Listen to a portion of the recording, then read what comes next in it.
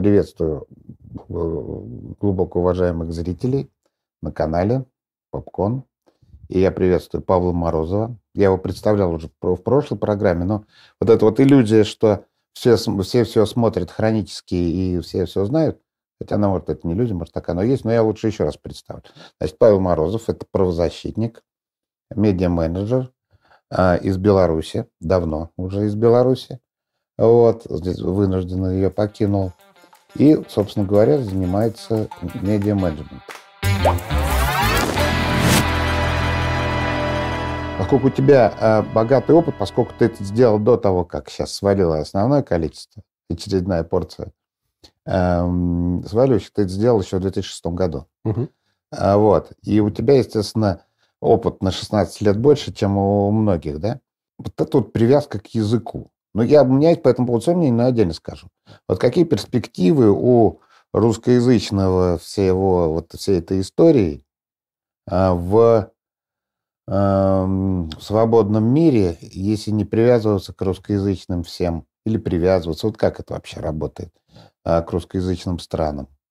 Какие вообще перспективы на русском, не на русском? Почему ты стал делать на русском языке? Ну, у нас еще более комплексное контент, и сложное это все. стал делать да, на русском. Да, да. А, потому что изначально всегда э, Беларусь, ну, белорусский язык uh-huh. есть, и русский язык, и э, в то время, когда я там вот э, только вставал на путь, как говорится, медиа-менеджерства, uh-huh. шли прямо священные такие баталии на тему, что же важнее, только белорусский или еще и русский, или без uh-huh. русского, или с русским. Ну, в общем, прямо копий ломалось очень много. Вот. Но оказалось, что они ломались вообще не на том уровне, потому что э, в принципе, в принципе, ну, как бы понятно, что э, глобальными языками и не русский, и не белорусский не являются. То есть, ну, это все-таки региональный. Вот русский берем, да, региональный язык, да. А если мы говорим, там, допустим, про какой-то там мировой уровень, ну, изволь тогда какой-то продукт выдать на английском или там испанском, допустим, или даже китайском, скажем, в наше новое время. Ну, народ побольше говорит на этих языках, но да, на русском да, тоже прилично, да, там 300 да. миллионов. И в этом смысле э, ты со временем приходишь к выводу, что, э, ну, конечно, все мы пляшем от аудитории, там, и понятно, что как на этой самой вот войне сейчас в Украине. Ну вот э, люди убивают друг друга с огромным остервенением и э, с жертвами, кровью, и с всем.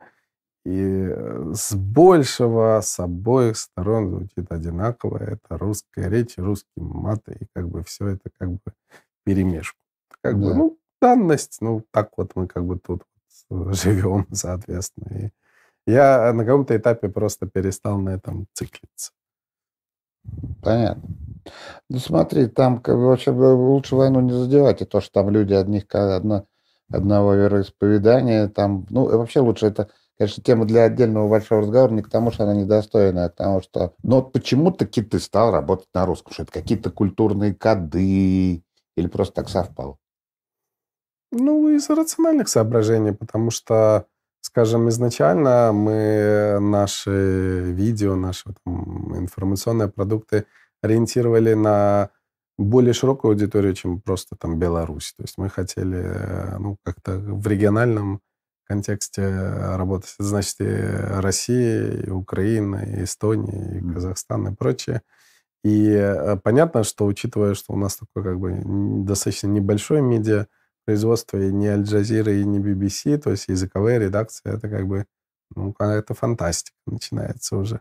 А значит, э, хотя добросовестно, я помню, на каких-то первых наших э, еще сайтах, там вот еще там, собственно, видео не было никаких, мы добросовестно пробовали ввести там, даже вот э, на сайте там несколько языковых версий.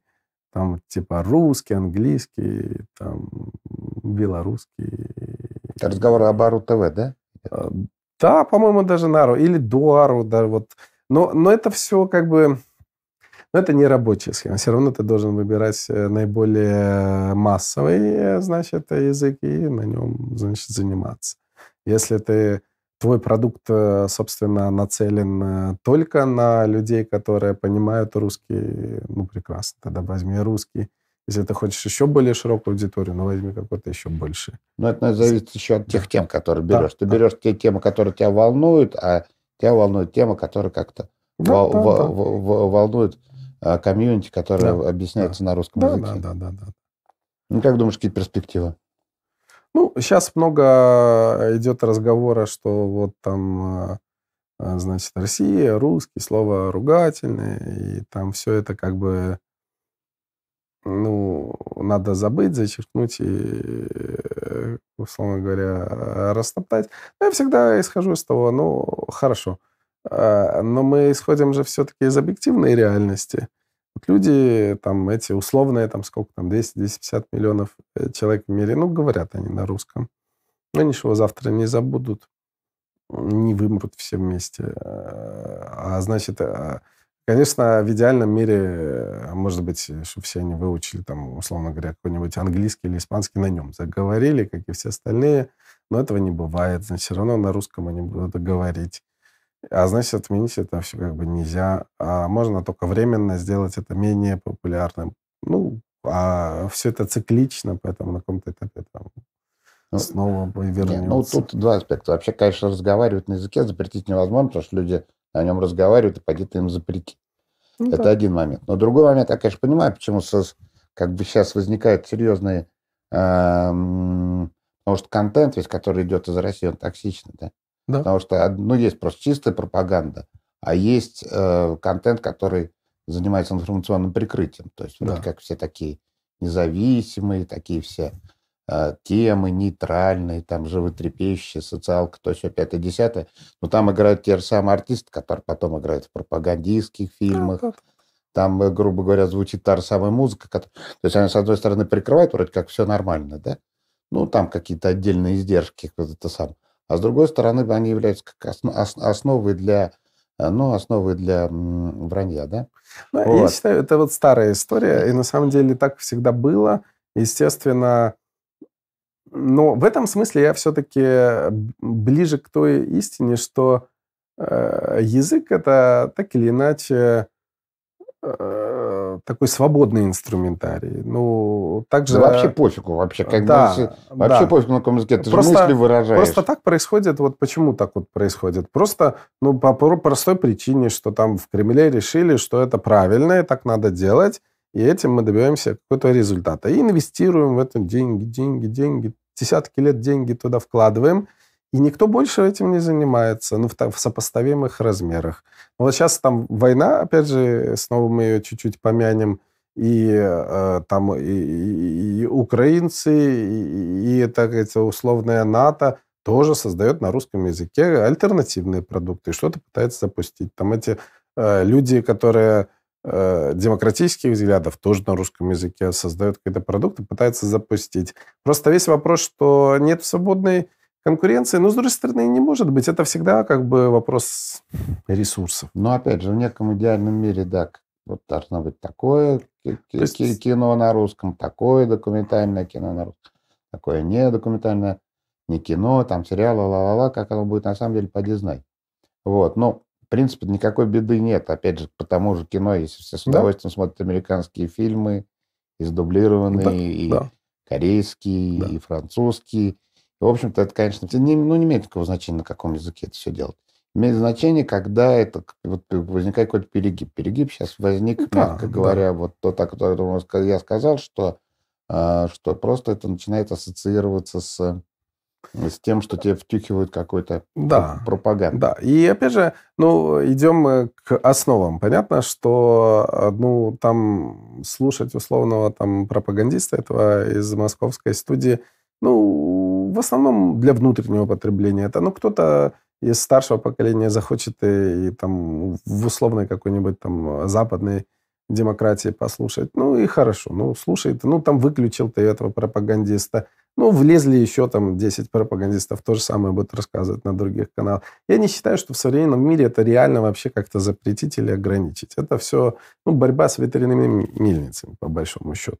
Ну, что ты можешь сделать вот реально – и чем никто сейчас не занимается, что есть э, вот привлекательный продукт на русском языке, а, entertainment, то есть фильм, там, я не знаю, что-нибудь еще, книжка там и прочее.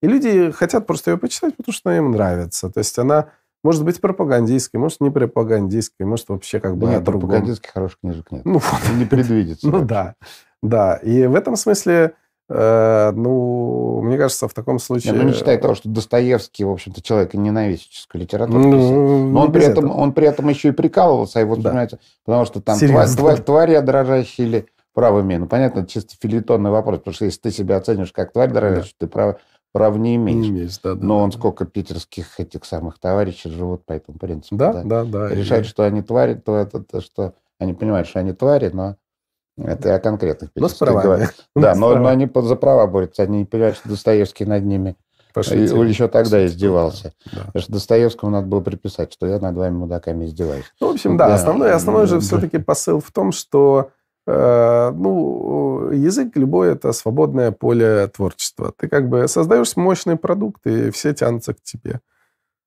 Или ты там э, создаешь какой-нибудь пропагандистский э, продукт и надуваешь его с помощью пиара, денег, рекламы и показываешь его мощным. Ну, с другой стороны, от этого мощный не становится. То есть, ну, вы тогда уже смотрели, тогда плюнули и пошли дальше. Тогда уже скорее у, у, украинский язык тогда да. сейчас. Вообще, кто, кто сказал, что русский язык русский, собственно говоря? Да, да, это как бы Вообще... классический имперский язык, он Конечно, потому что, ну, предположим, ну, есть Британия, да, а есть вот какой-то там э, суржик, на котором говорят в Нигерии. Да.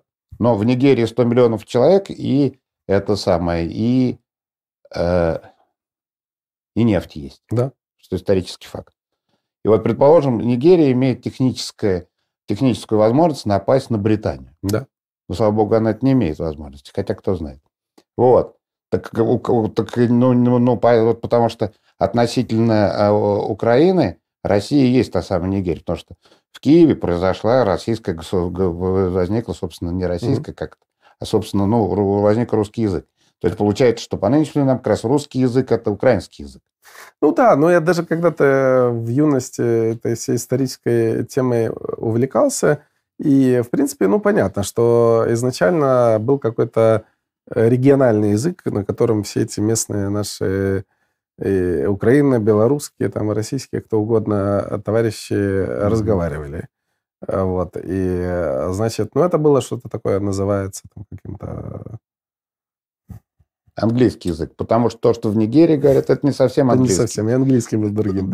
Да, и это было другое. Но просто получается так, что как бы, ну, что белорусский, что, что украинский, это наиболее близкие языки к тому оригиналу, на котором там разговаривали. Но почему мы не пользуемся ими, а пользуемся российским? Потому что после этого еще была империя поглощения, были, были, всякие были нюансы, как бы инвестиции, да. смеси, упрощение, как обычно, вот всех этих имперских делах. Ну, получился русский язык, ну, ну разговариваем на нем, но с, с одинаковым уважением относимся и, как бы, и к белорусскому, да, да. и к украинскому, и ну, к любым есть, другим языкам, которые нас да, окружают. Ну, как, как нигерийцы мы да. с уважением относимся к английскому и к, и к, к американскому тоже. Ну, да. все-таки наш-то нигерийский покруче будет.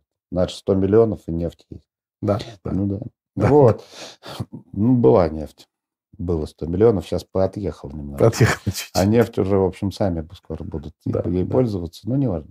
Да. Вот. Ну, короче, в общем, тут э, вывод очень несложный. Вообще пофигу, на каком языке, на том, который удобнее, на, на, и да. куда на, на, нацелен. Я считаю, что да, это ну, как бы понятно, что всегда есть инерция языковая, есть э, привычка, ну и так и должно быть, но все равно э, и, и там куча людей в Соединенных Штатах там, или в Великобритании, но вот они английском говорят и говорят, и им не надо больше ничего. Вот. Кто-то интересуется другими языками, учит там, допустим.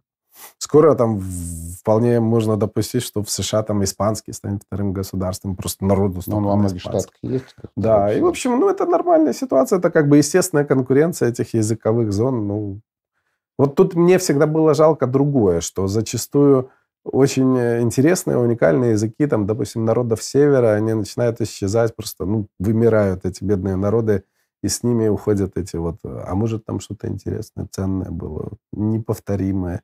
Это же язык определяет образ мышления, по сути, образ мысли. Это, конечно... Ну да, вот и, да, и, вот и, это, да. идиш поменялся на иврит. Но Да. если считать европейских евреев народами севера, определенно европейские евреи не народы юга, да? Это сто процентов. Да, вот идиш вымирает. Да, да, на нем вообще нобелевские э, книжки Да, писались. да. Но опять же, возвращаясь к какой-то политической составляющей, но учитывая талант э, менеджеров, которые работают сейчас с русским языком, они, конечно, могут довести ситуацию, что э, вся продукция будет восприниматься токсично. Да, да, это возможно. Это Да. возможно. Это возможно, потому что степень тупости и бездарности просто зашкаливает. Да, да. Вот, но ну что, тогда будем украинский. Да, Потому да. что, в принципе, если удастся вот этот проект в Украине, что перевести 40 миллионов, ну это, конечно, тоже за год, за два не делать, 40 миллионов на, на украинский язык, то, конечно, русский язык закончится, потому что вот эти 40 миллионов проживающих в Украине, это, в общем, значительная часть русскоязыч- русскоязычного комьюнити. Я- Ну, не я- закончится я совсем, считаю, но, но вот такая, такая, такое давление, э, давление на это самое, на, э, на массу закончится русского языка. Я считаю, что это вот как бы во многом вот благодаря этим э, путинским авантюрам-то и происходит. Что лучшая реклама украинской мовы? Ну, конечно, вот это вот вся свинство, которое тут э, Путин развел в Украине. Конечно, ну, если раньше люди к этому как-то нейтрально относились, то сейчас это ну, просто часть их идентичности против этой всей... Более того, это получается идентичность славян и всех да. людей других да, народов да. и вероисповеданий, которые как-то ассоциируют себя с славянским миром, потому что так-то, в общем-то, тем более, что язык красивый, Да. не сильно сложно учится, Не, проще, вообще легко. проще может выучить Да, украинский, да, чем, да. чем, чем вот это вот. Да. Но в любом случае, этот проект, я думаю, лет на 20, на 25. Ну, и да, в ближайшее это время длинная история, да. э, в ближайшее время все-таки русский будет актуален. Ну, а что мы с ним будем делать? Ну, Мгм. это вот уже нам с вами разбираться, но об этом а, будет не, не следующая передача, об этом вы узнаете в несколько следующих лет нашей с вами жизни. Точно. Да. На практике. На практике, да. Вот. Ну, всего доброго. Да, счастливо. Да. Счастливо.